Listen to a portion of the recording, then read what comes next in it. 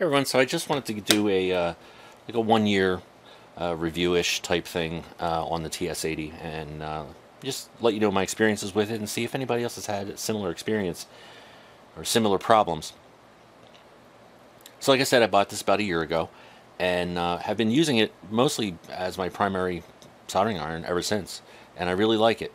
When it works, again, when it works, it's great. Uh, it heats up and I haven't even timed it. I, it, it. It's that quick that I don't even think of it. It's probably under 20 seconds. And you, you know, you hit the button, it starts heating up, get ready, and by the time you go to go to solder something, I mean, it's there. It tells you the temperature, the wattage being used, um, everything on the display. It's, it's, it's great. You can set the temperatures.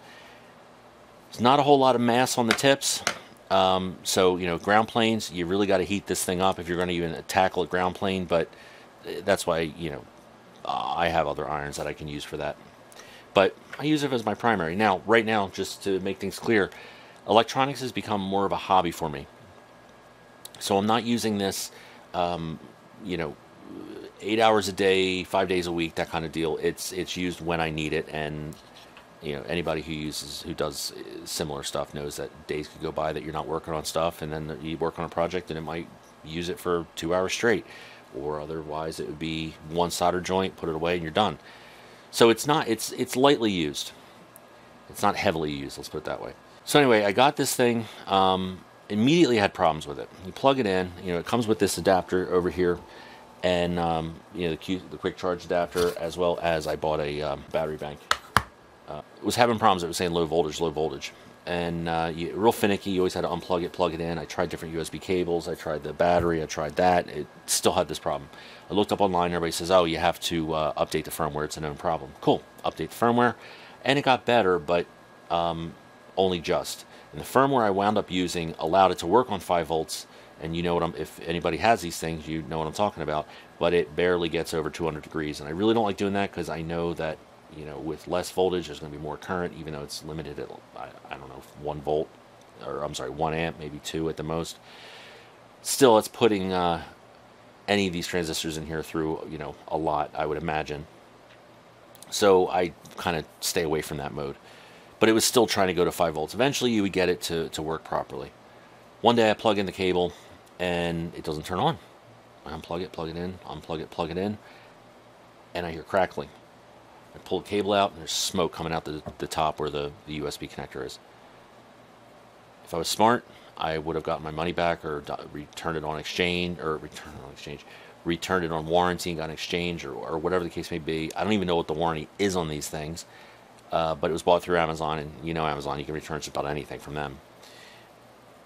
But I wasn't smart. I took it apart and found out that uh, the connector, the, the plastic piece in the middle of the USB connector started melting and um, shorted something out and the, the board was cooked and there was a, uh, a bad solder joint on one of the pins going to the board. I don't know if that was beforehand or after, but I'm assuming it was beforehand by the way it was acting. So I took the connector off, I stuck a, uh, a micro USB connector on because that's all I had at hand and fired it up and immediately got smoke, got a little red dot in the middle of the board. You could see it glowing. So I dug that out. Uh, it was a short, and it must be a, a multiple layer board because it looked like it was coming from within the board. So I dug it out and made sure everything was nice and clean. Put the, the connector back on it and got it working. Now it sounds easy, but it took me quite a few hours to actually get that done properly. Again, should have just returned it, didn't.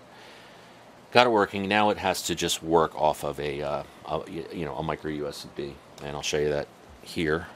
And I'll show you that this is micro USB and it plugs into it only goes one direction unfortunately but tip disconnected boom works. So cool. All right well it's one hurdle. It's not the greatest but you know it works and I'm totally content with just using a micro USB so cool so it worked. So then about a month later I started having problems with the tip. Now these are the tips the ones I bought uh, it came with one. I bought these ones here. And obviously these are multiple pieces. And the top piece started coming apart. So I immediately ordered uh, these tips here. This is the original. I saved it. Now if you notice, it, I mean, the metal, you can see this metal here kind of is warped. It just, it just came apart. It just absolutely just started falling apart. It still worked. I just, you know, didn't trust it. It was going to break at any given moment. Now, with something this small, you don't put a lot of pressure on the joint. I've had soldering irons that, you know, you, you could just, you know, they were old ones and you could just, you know, dig at the, at the board if you had to. You don't do that with these little things. Plus, you don't really have, you know, it's too small. You really can't get a lot of force on there. But this broke anyway. So I was always careful not to put too much pressure on it, but it still broke. So I thought, eh, maybe it's just a bad day at the factory, whatever. So I ordered these ones. And they've been okay. I've actually had very good luck with this thing at that point. But recently, this tip, I got a, a conical and a wedge. And that was just a little blip and it's grown from the thermal cycles. There's just a little piece of metal missing out of it, and now it's growing and it just continues to grow. It's to the point now where it doesn't even fit in the case. You can even see that joint there. I'm not sure if that's going to last much longer because it's. I'm not going to put any pressure on it, but yeah, um, I really don't like the way this tip has aged. And again, I'm not using it all that much. But it is what it is. I figured I would just continue to use it and get what I get out of it. I had a conical as a backup, and I still use the conical actually for other things as well. So, um, so let's do this. Let's turn this on, and the tip's in there. I'm gonna hit go, and yeah, it heats up very quickly. But watch what happens when it starts getting really hot. When it starts getting towards 300. Notice how it's starting to bounce around.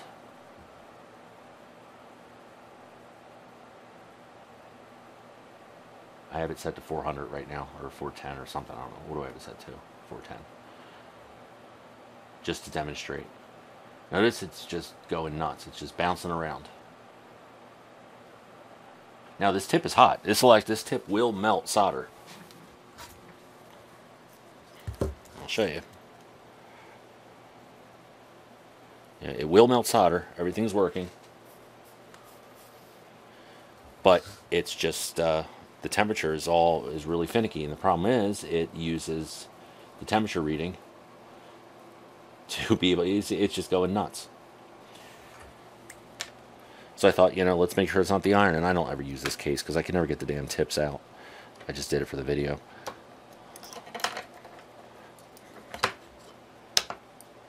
I keep these actually. I, I have a, uh, a stand that these can go in. So let's put the conical in and I'll show you conical works just fine.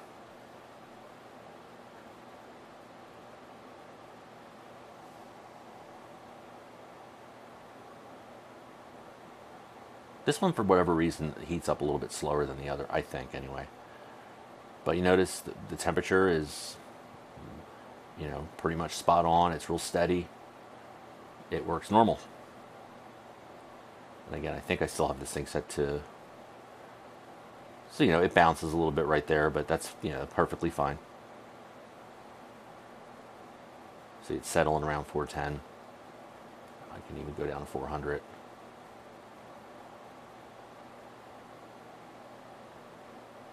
And there you go. So this one, the conical is fine, and, and the conical gets the, the use, the, the least amount of use out of out of both of them. I use the wedge tip most. So that's where I stand right now. I know this isn't you know the most thorough uh, review, but I just wanted to share my experiences. I, I really like this. I really do. Uh, it, it's comfortable. To, I mean, it's it's it really is perfect. Um, I've used uh, you know Wellers all my life. You know, just the basic ones you plug in. It's got the heating element back in the you know the, the rod down here, not in the tip. They were great, but super reliable. But they didn't heat up very fast. They were kind of bulky with that big cord hanging off of them. I've had uh, soldering, a couple soldering stations. One was an old one from like 1950s that was given to me by my uncle when I was a kid. That was great. I think if I could find it, last time I used it was know, five, ten years ago, and it it worked because it was just a transformer that went to a heating element it, it, with a, a, switch. I think it had like three secondaries on the transformer, and and it just the switch choose between them. Super basic. It still worked.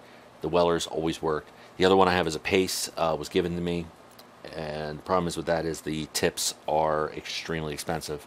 Um, I mean, it's affordable. I mean, it's you know I could buy them, but I just don't want to spend seventy five dollars on a tip. I just I just have a problem with that, especially when the tip has the on that one in particular the pace, the heating element's actually in in the iron. It's not in the tip. So all you're buying is a little piece of metal. You can get aftermarket tips for much cheaper, but you get what you pay for usually. And I haven't tried them. I'm kind of afraid to, because if you get a, a, a bad soldering, um, you know, iron tip, it's poorly plated, and um, you're not going to get a lot of life out of that and could contaminate some joints which would cause problems down the line so i haven't really ordered any tips for that one and when this came in i just started using this because this is great it's it's convenient i just wish it was a little more reliable i wish the the uh, the tips were higher quality i wish that uh, that this wasn't so finicky so i'm wondering if anybody else has had any problems with this or if i just got a bad one and um, you know, let me know. But other than that, you know, now it's besides that tip, which just started acting up, so I guess I'll have to order a new one. Um, you know, I'm just kind of curious to see what anybody else, any problems anybody else had. So, if you had problems, let them let me know. If yours is great, leave it down there, leave it in the comments, and uh, I'll order. Maybe I'll just order a whole new one because you can order, you know, this. You can order a new iron with, and it comes with a tip included. So I'll just order another iron with a with a with a wedge tip. If you know, if this thing is is if everybody else has had great luck with them, you know, maybe it's just me. I'll give it another shot because I, like I said, I really like this, and uh, you know, I I would like to keep using it. So I didn't really have a script or anything set up for this. I was just kind of talking off the cuff. And uh, if you have any any questions, comments, suggestions, or anything like that, leave them in the comments down below, and uh, we'll see you there. All right. You have a good one. Bye-bye.